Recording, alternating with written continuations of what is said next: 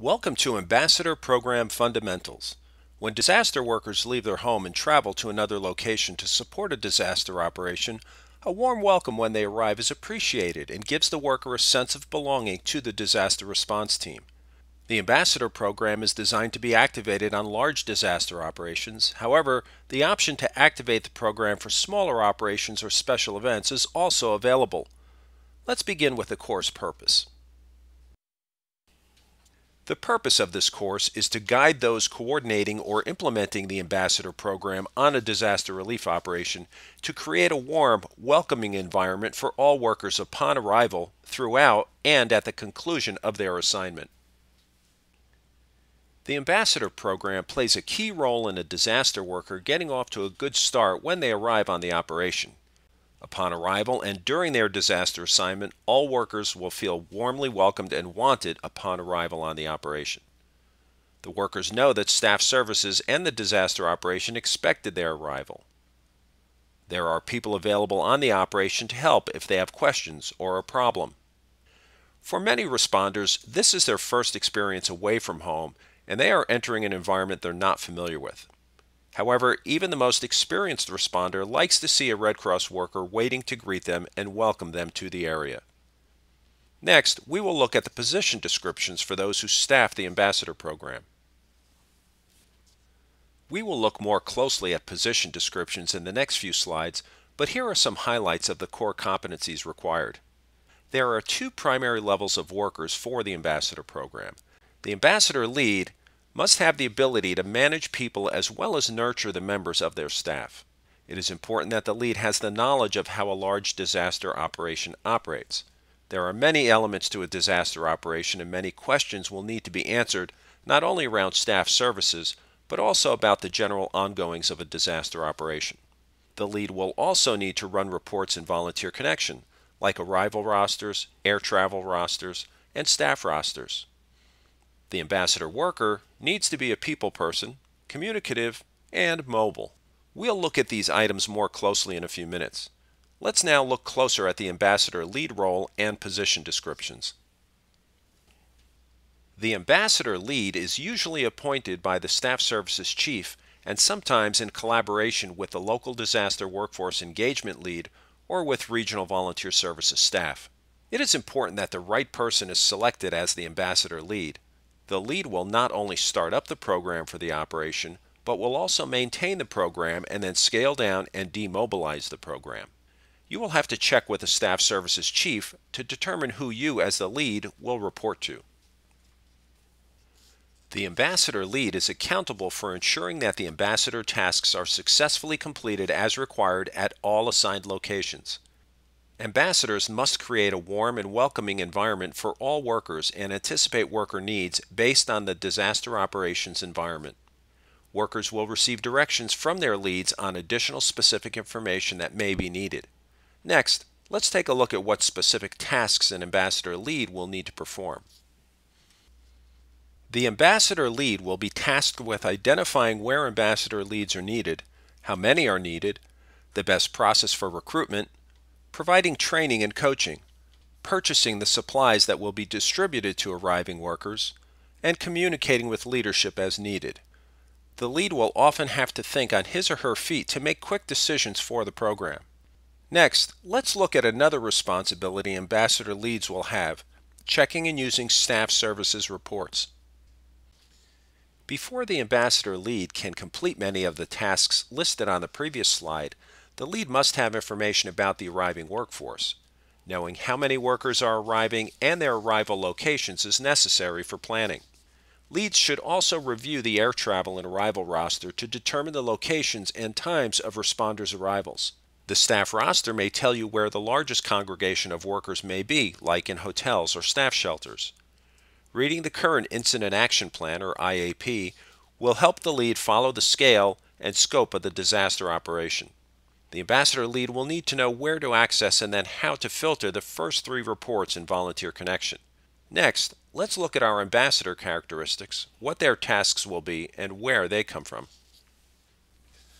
Because ambassadors are essentially a welcoming committee, they should meet the following criteria.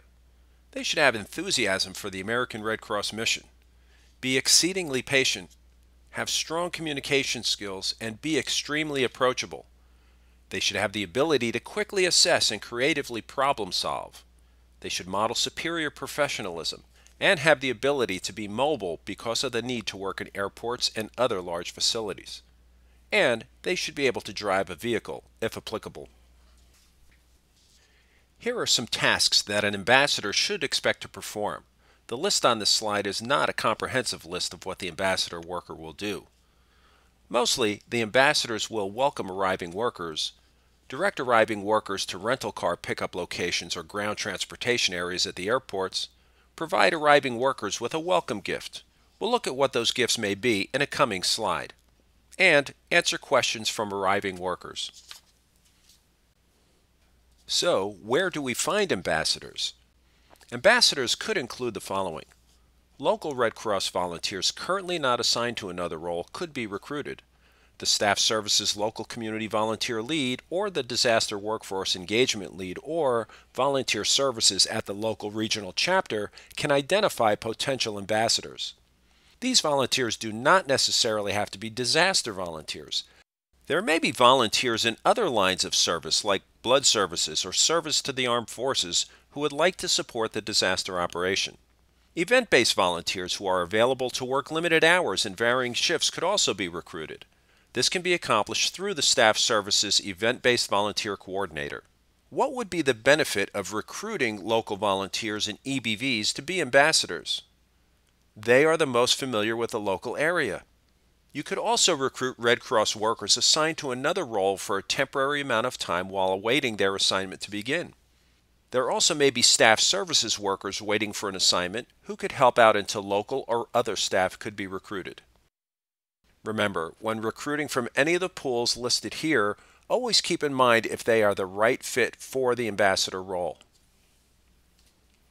An ambassador staffing plan strategy will need to be developed to determine how many ambassadors will be needed.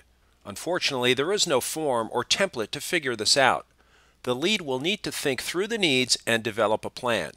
Using a calendar or a table, the plan can map out the locations, number of workers needed, and anticipated length of time the ambassadors will be needed. Work with the staff services chief to create the plan and then be sure to share it with the chief. At airports, you may have to consider placing one to four ambassadors based on volume of arriving workers at a location in the airport where all workers will eventually walk past, such as baggage claim at an airport with one terminal, or near the rental car counters for a large airport where all workers have been instructed to report there for transportation upon arrival. At a staff in processing center or HQ district office, consider placing ambassadors at the front entryway of locations where workers are expected to report to, or at the in processing area, or where they receive orientation or their work assignment. Using a staff shelter as lodging for our workers is not the first choice and is only used when hotels are not available. Having ambassadors stationed at the staff shelter during high foot traffic times, such as 7 a.m. to 9 a.m. and 6 p.m. to 9 p.m., is valuable in supporting morale. When a large number of workers are centrally lodged at the same hotel, consider stationing ambassadors there during high volume times such as 7 a.m. to 9 a.m., or when a large number are expected to check in. Consider placing ambassadors at large work sites like supply distribution sites or where workers are loading ERVs to say good morning and welcome them as they arrive.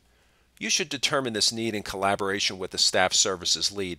Airports will most likely be the priority location for ambassadors, but the other sites listed here are also important places to consider if you have a large cadre of interested and available ambassadors. You will need supplies to support the ambassador program. Securing Red Cross t-shirts or vests for the ambassadors can be done through staff services. The vests may come from logistics or the local chapter, and the t-shirts may be specially made for the ambassadors. Under the ambassador lead tasks that we mentioned earlier, one was purchasing supplies. Leads will have to make a trip to the local dollar store or department store to purchase most of the items listed above. Purchasing items for the Ambassador program is an allowable expense and can be done using a mission card or a Red Cross purchasing card. Talk to your supervisor about what purchase method works best. You'll have to be imaginative when doing the shopping. There will come a time when the number of staff arriving slows and the operation begins to scale down. Decisions will have to be made on how to demobilize the ambassador program for that disaster operation. Here are some questions that you may need to consider. Are the ambassadors still needed at the airports as volume drops significantly? Are districts consolidating so workers are being moved from one location to another?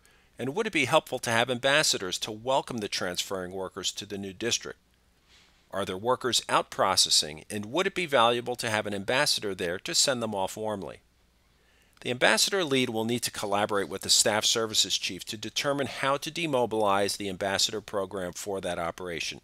There should be a plan in place as soon as it becomes obvious that the operation is scaling down. So, how do we know that an ambassador program was successful? We look for certain outcomes. You often hear in Red Cross that we want workers to have a good hello and a good goodbye. We want workers to feel that they were appreciated for their time and the questions they had received answers. The workers participated in the disaster operation with a positive impression of the Red Cross that encouraged meaningful future engagement and interest in future deployment. And they experienced a model for exemplary customer service skills that workers can mirror in their interactions with each other, community members, and clients. Here is a list of resources that you will have to be a successful ambassador you are always able to reach out to staff services leadership for assistance when needed. Your success as a worker is very important. If you need help and support, ask. Thank you for your time and interest in the Ambassador Program. Contact the Staff Services Lead in your region if you would like more information.